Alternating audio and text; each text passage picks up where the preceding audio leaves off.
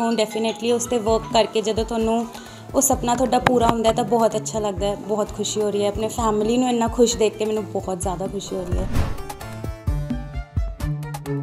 ਪਰ ਮੈਂ ਘੰਟੇ ਕਦੇ ਕਾਊਂਟ ਕਰਕੇ ਨਹੀਂ ਪੜ੍ਹਦੀ ਸੀ। ਮੇਰਾ ਹਮੇਸ਼ਾ ਹੁੰਦਾ ਸੀ ਕਿ ਮੈਂ ਆਪਣਾ ਇੱਕ ਟਾਰਗੇਟ ਸੈੱਟ ਕਰਦੀ ਸੀ ਡੇਲੀ ਦਾ।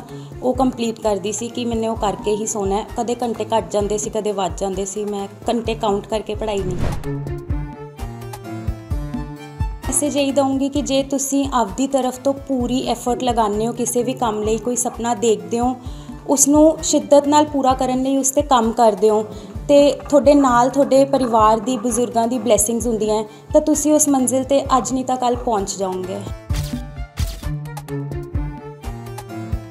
ਬਹੁਤ ਅੱਛਾ ਲੱਗ ਰਿਹਾ ਹੈ। ਤੁਸੀਂ ਇੱਕ ਸੁਪਨਾ ਆਪਣੀ ਲਾਈਫ 'ਚ ਦੇਖੋ ਡੈਫੀਨਿਟਲੀ ਉਸ ਤੇ ਵਰਕ ਕਰਕੇ ਜਦੋਂ ਤੁਹਾਨੂੰ ਉਹ ਸੁਪਨਾ ਤੁਹਾਡਾ ਪੂਰਾ ਹੁੰਦਾ ਤਾਂ ਬਹੁਤ ਅੱਛਾ ਲੱਗਦਾ ਹੈ ਬਹੁਤ ਖੁਸ਼ੀ ਹੋ ਰਹੀ ਹੈ। ਆਪਣੇ ਫੈਮਿਲੀ ਨੂੰ ਇੰਨਾ ਖੁਸ਼ ਦੇਖ ਕੇ ਮੈਨੂੰ ਬਹੁਤ ਜ਼ਿਆਦਾ ਖੁਸ਼ੀ ਹੋ ਰਹੀ ਹੈ। ਫੈਮਿਲੀ 'ਚ ਹੋਰ ਵੀ ਕੋਈ ਸੀਗਾ ਇਸ ਤਰ੍ਹਾਂ ਜਾਂ ਤੁਸੀਂ ਪਹਿਲਾਂ? ਨਹੀਂ ਸਰ ਮੈਨੇ ਜੁਡੀਸ਼ਰੀ ਜਾਂ ਲੀਗਲ ਲਾਈਨ 'ਚ ਕੋਈ ਹੋਰ ਨਹੀਂ ਸੀ। ਕਿੰਨਾ ਟਾਈਮ ਕਰਦੇ ਸਟੱਡੀ ਵਾਸਤੇ?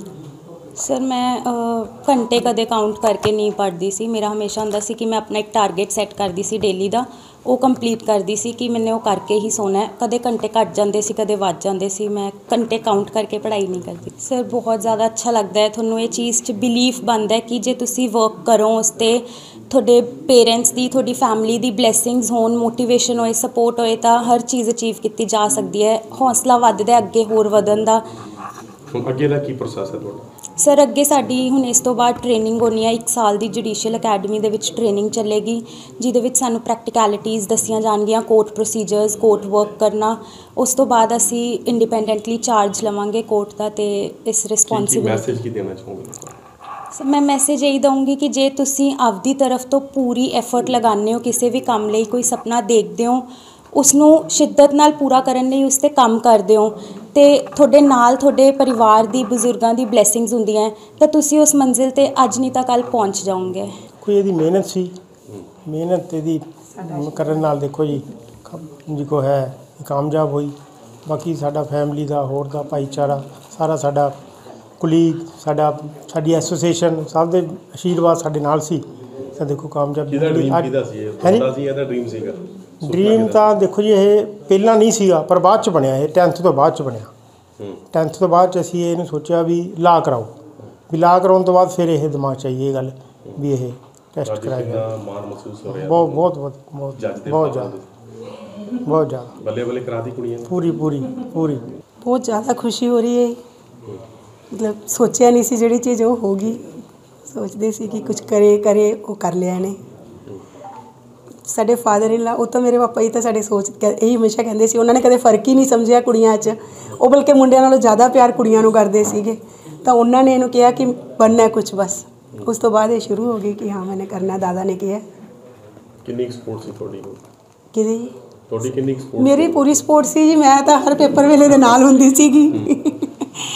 ਕੋਈ ਵੀ ਐਗਜ਼ਾਮ ਦੇਣਾ ਇਹਨੇ ਨਾਲ ਮੈਂ ਨਾਲ ਜਾਂਦੀ ਸੀ। ਸਭ ਤੋਂ ਵੱਡੀ ਖੁਸ਼ੀ ਹੁੰਦੀ ਜਦੋਂ ਬੱਚਾ ਆਪਣੇ ਪੈਰਾਂ ਤੇ ਹਾਂਜੀ ਬਹੁਤ ਜ਼ਿਆਦਾ। ਮਾਣ ਮਹਿਸੂਸ ਹੋ ਰਿਹਾ ਬਹੁਤ ਜ਼ਿਆਦਾ ਖੁਸ਼ੀ ਹੋ ਰਹੀ ਹੈ ਅੱਜ ਸਾਡੀ ਬੇਟੀ ਜੱਜ ਬਣੀ ਹੈ। ਸਾਨੂੰ ਬਹੁਤ ਗਰਵ ਮਹਿਸੂਸ ਹੁੰਦਾ ਹੈ ਇਸ ਗੱਲ ਦਾ।